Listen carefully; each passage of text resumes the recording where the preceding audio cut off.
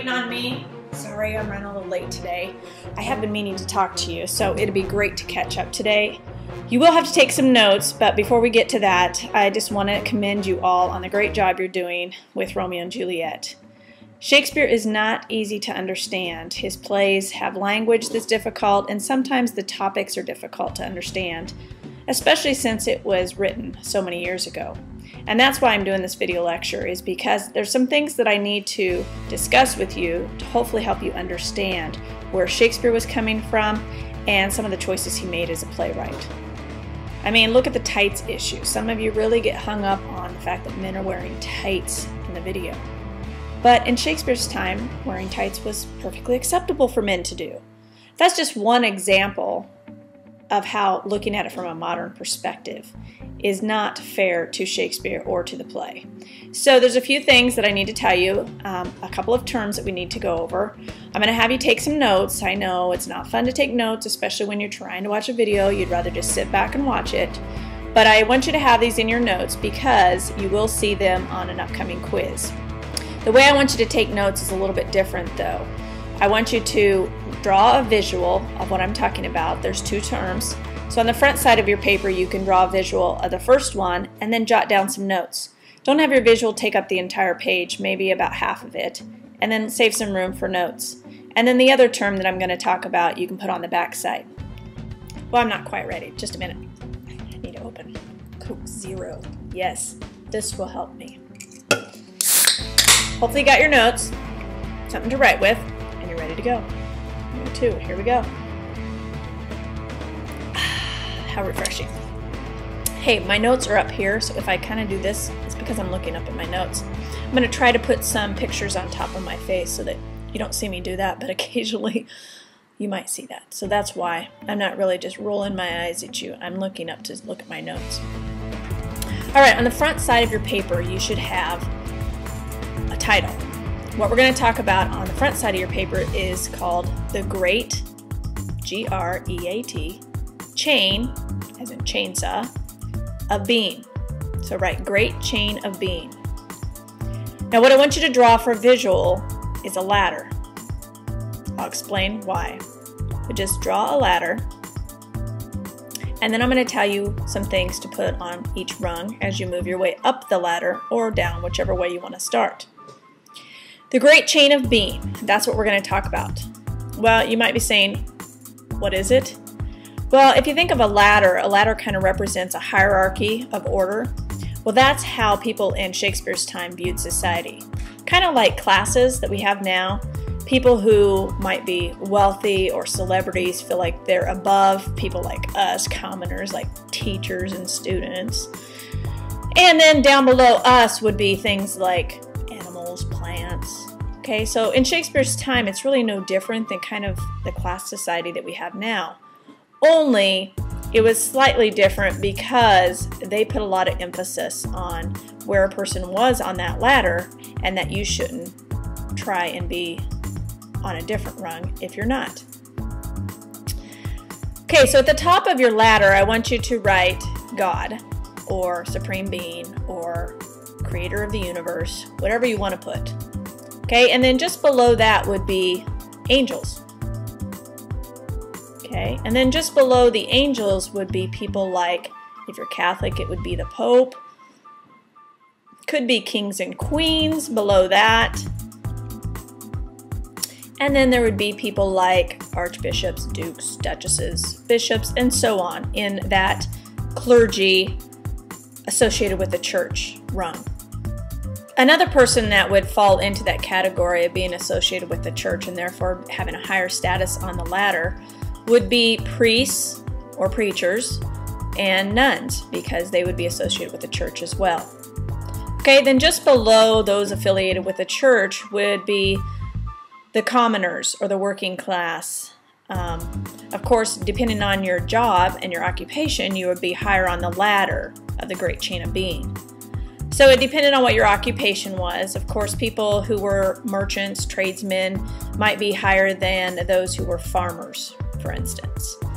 Okay, and then working your way down, of course, people who just did uh, menial tasks like servants or even actors or gypsies for that matter, they would fall under um, most of the working class because remember, actors were not a real high regarded profession, even though people liked to go see the plays.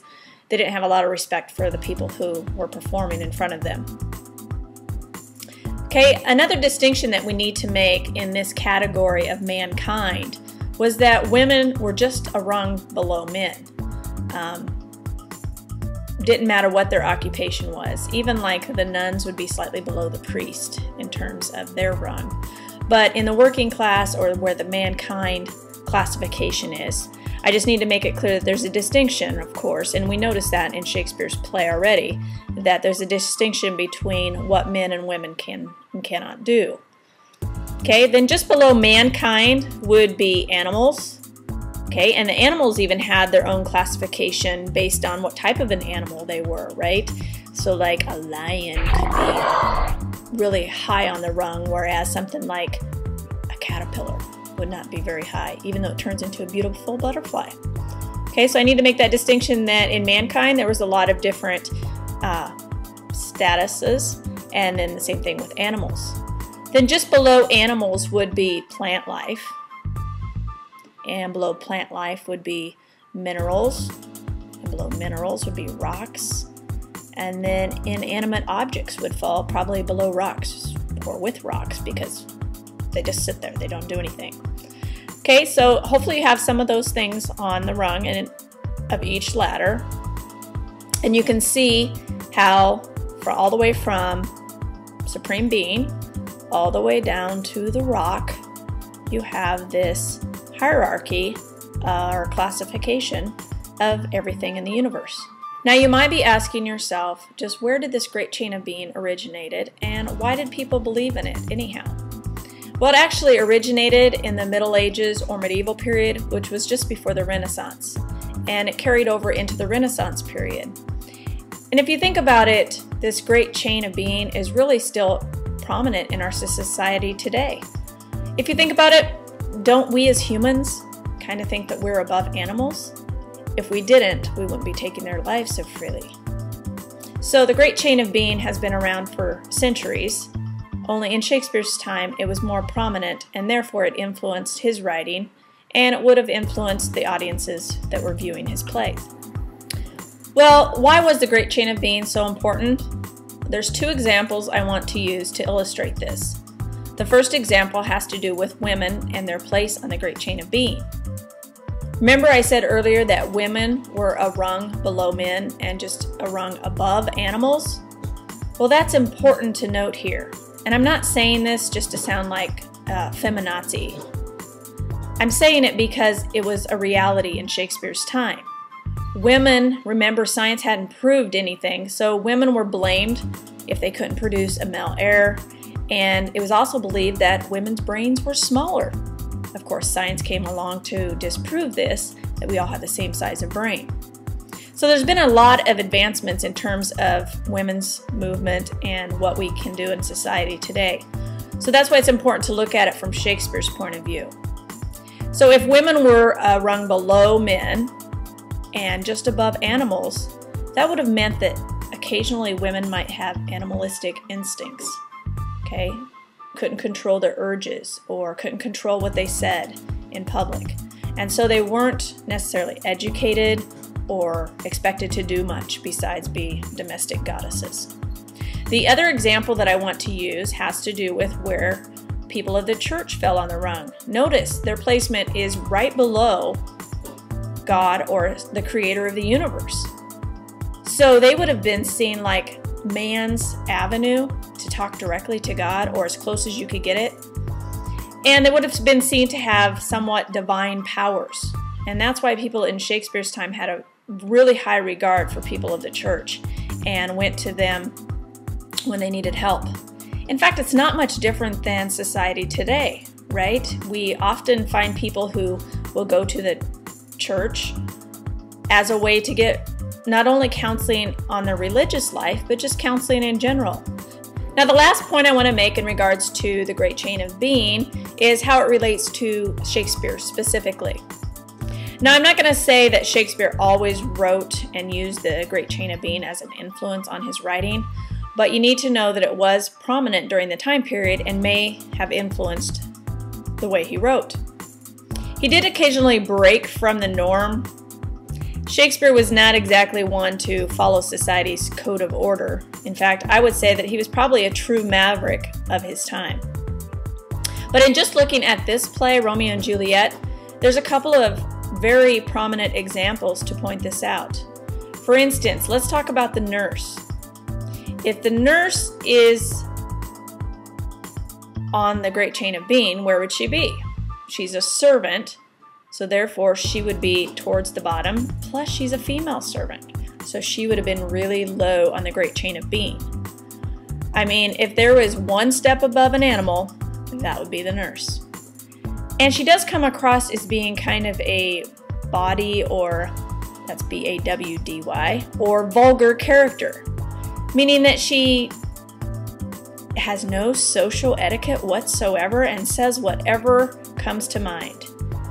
Now, this is one example of how the Great Chain of Being might have influenced the way he wrote the nurse character. She has no social etiquette and seems kind of animalistic in a sense.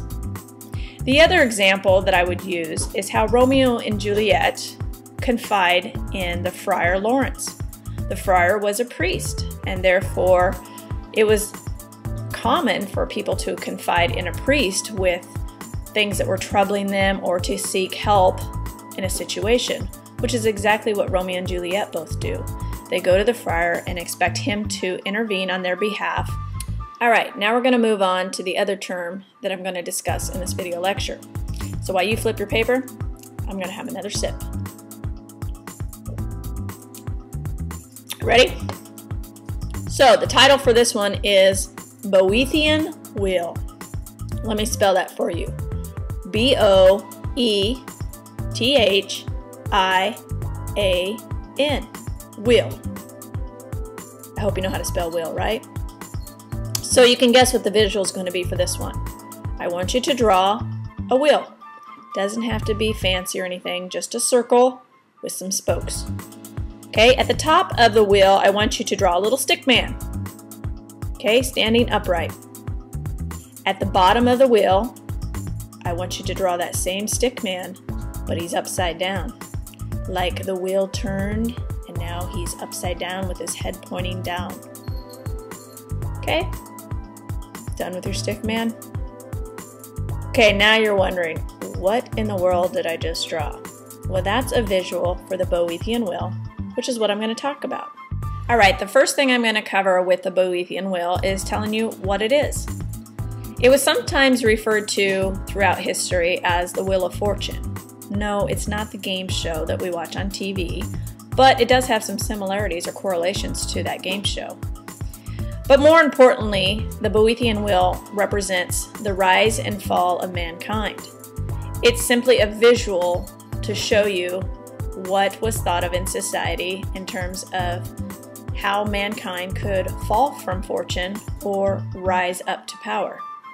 For instance, at the top, the man who's standing upright on your Boethian wheel, the little stick man, could be very powerful, have a lot of wealth, but if he or she made the wrong decision, the wheel would start turning, and before long, he or she would have their eventual ruin or perhaps death.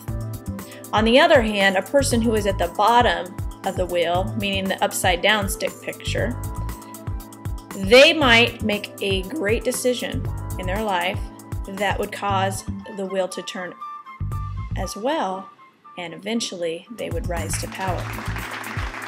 But where in the world did this Boethian wheel concept come from? Well, it dates back to a Christian philosopher named Boethius, thus the name Boethian wheel. He was about 6th century, and it was named after him because he wrote a book while he was in prison waiting his execution.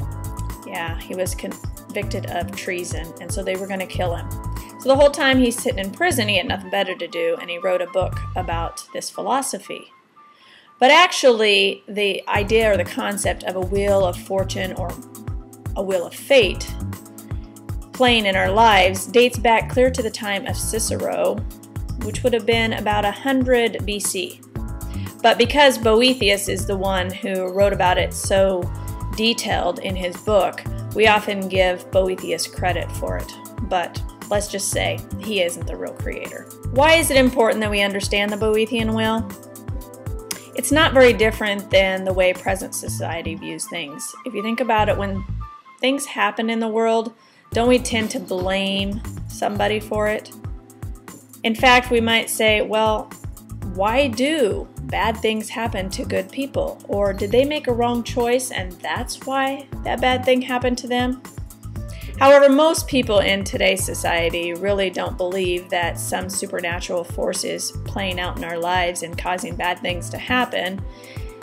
Instead, we tend to feel the exact opposite that when things go wrong, it's really the person's own fault. We blame the person instead of some supernatural force determining our destiny. Just how does the Boethian wheel relate to Shakespeare? Even though Shakespeare wrote many years after Boethius was around and wrote his book, the Renaissance period was still influenced by the Boethian wheel and believed in it that there was some fate or supernatural force at play in their lives.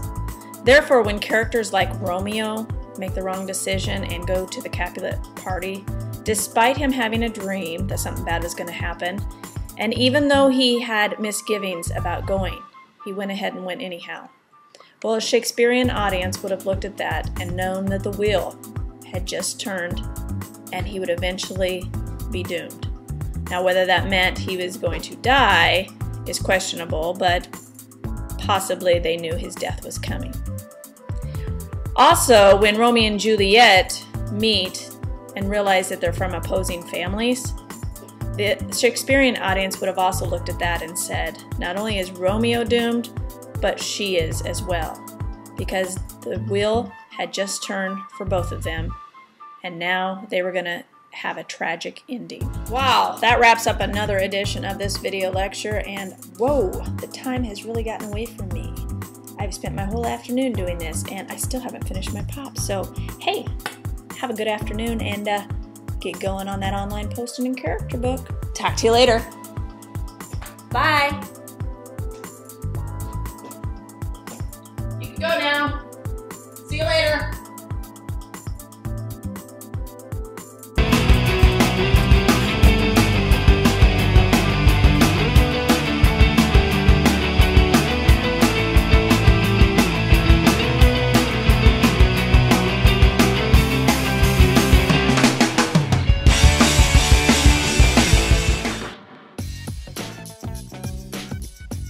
So there's still a stratosphere of that's why Shakespeare uh, used it or well let's take for example